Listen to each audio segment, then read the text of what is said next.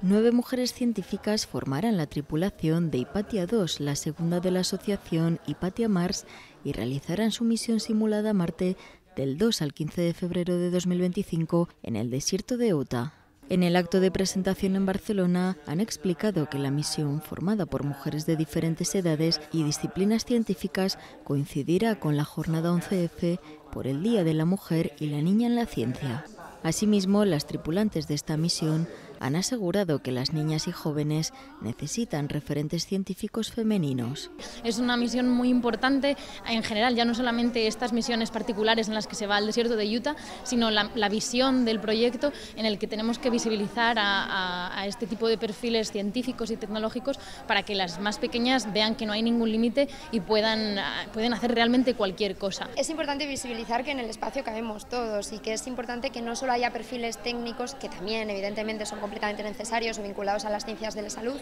sino también a las ciencias sociales para que podamos trabajar de manera multidisciplinar. El objetivo que tenemos ¿no? sobre todo es inspirarlas y decirles que todo es posible, es decir, que como pueden ver, si les gusta el espacio o si les gusta la ciencia, que hay muchas mujeres que se están dedicando en ciencia y que esperemos que eso les anime a no tener miedo a enfrentarse a una carrera científica. La tripulación está formada por la comandante e investigadora de la NASA, Ariadna Farres, que ya participó en la primera misión, la matemática Ana Bach, la ingeniera mecánica Elena Arias, la geóloga Marina Martínez, la ingeniera en telecomunicaciones Mónica Roca, la publicista Jennifer García, las ingenieras aeroespaciales Estel Blay y Laura González y la nanotecnóloga Lucía Matamoros. Los objetivos de la nueva misión son impulsar proyectos de investigación y ensayar estrategias y protocolos de comunicación en condiciones de simulación y aislamiento, así como realizar actividades de divulgación